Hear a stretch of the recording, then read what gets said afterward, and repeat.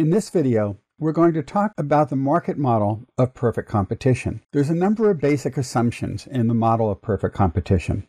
The first is that there's very many buyers and sellers. The product they're producing is assumed to be identical.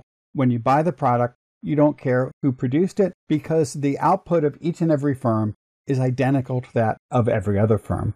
We're also assuming that all buyers and sellers have perfect information about alternative prices and the availability of the product.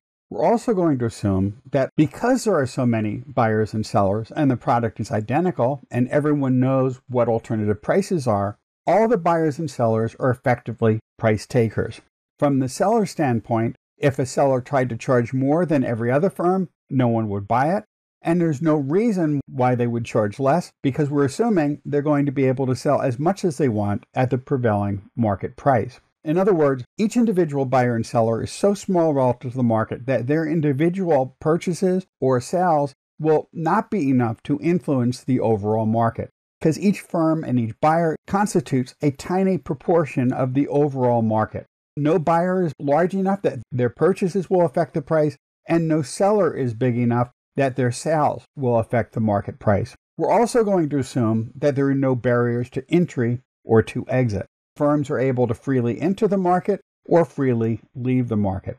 The equilibrium price is determined by the interaction between market demand and market supply. So the market determines the price, and we said that each individual firm is a price taker.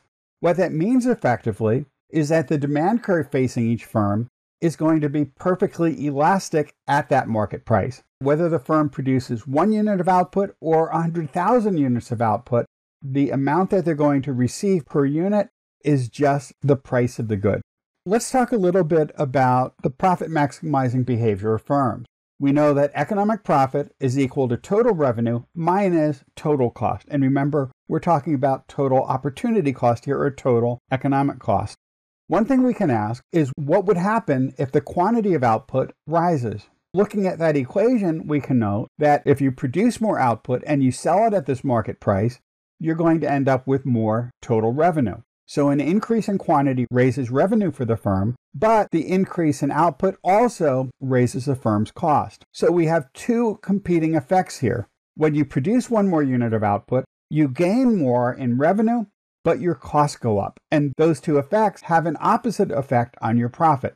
The increase in revenue would raise your profit, the increase in cost would lower it. So whether profits rise or fall depends on whether revenue rises by more or less than costs do. In particular, we can note that if revenue goes up by more than cost, then the firm will end up with higher profits. So if you sell one more unit of output and you gain $10 worth of revenue and it costs you 8, your profits would increase by $2. On the other hand, if your costs go up by more than your revenue does, then your profits will go down. For example, again, suppose that you can receive additional revenue of $8, but now it costs you $9 to produce that extra output. In that case, the production of that additional output would end up lowering your profits. In general, this is what's going to guide the firm's decisions. If the additional revenue is more than the additional cost, the firm is going to produce more because it would increase its profit. If the additional costs are more than the additional revenue for that last unit, though, the firm is likely to cut back on its production. Now, let's talk about these concepts in more detail. We're going to engage in marginal analysis, and what we know is that the changes in revenue and the changes of cost determines whether producing more or less will be profitable. We can define the change in revenue that occurs when you produce one more unit as marginal revenue. Earlier, we defined marginal cost to be the change in cost when output changes by one unit. So marginal revenue is the extra revenue you gain. Marginal cost is the additional cost of producing one more unit of output. So if a firm sells more output, its profits will go up if the additional revenue is greater than the additional cost, or simply if marginal revenue exceeds marginal cost. On the other hand, if marginal revenue is less than marginal cost, its profits will fall. So, this is going to be the decision rule that a firm will look at in determining whether to produce more or less output. If the additional gain, the additional revenue is more than the additional cost, it will produce more. On the other hand, if the additional revenue is less than the additional cost, it would be better off producing less output. If marginal revenue just equals marginal cost, there would be no change in profit. Now, we've talked about marginal cost before. Let's talk a little bit about marginal revenue. Marginal revenue, by definition, is the change in total revenue over the change in quantity. In the special case of a perfectly competitive market, though, the additional revenue you get when you sell one more unit of output is nothing more than the price of that output. Because if you're selling output for $5 per unit, if you sell one more unit, you end up with $5 in additional revenue. So marginal revenue equals the price, and we know that the demand curve facing a firm is perfectly elastic. So the marginal revenue curve is the demand curve that faces a perfectly competitive firm, and it's just horizontal or perfectly elastic at the prevailing market price. Now, using the marginal analysis we've just talked about, we can combine this marginal revenue curve with a marginal cost curve. Let's just consider a few different levels of output.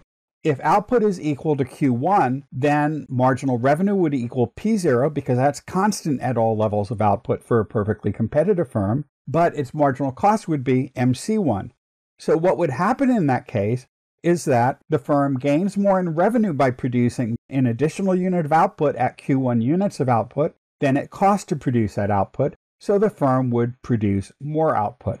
That's going to be true whenever the marginal revenue curve is above the marginal cost curve.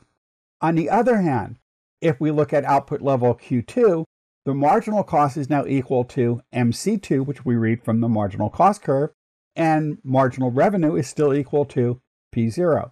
So the marginal cost of that last unit of output at output equals Q2 costs more than the firm receives in revenue, which means the firm could increase its profit by producing less output. So, what that tells us is that whenever marginal cost is above marginal revenue, the firm produces less. Whenever marginal cost is below marginal revenue, the firm produces more. If it's optimal for the firm to produce anything at all, the profit maximizing or loss minimizing level of output will always occur at the point where marginal revenue equals marginal cost. In this diagram, that occurs at an output level of Q0.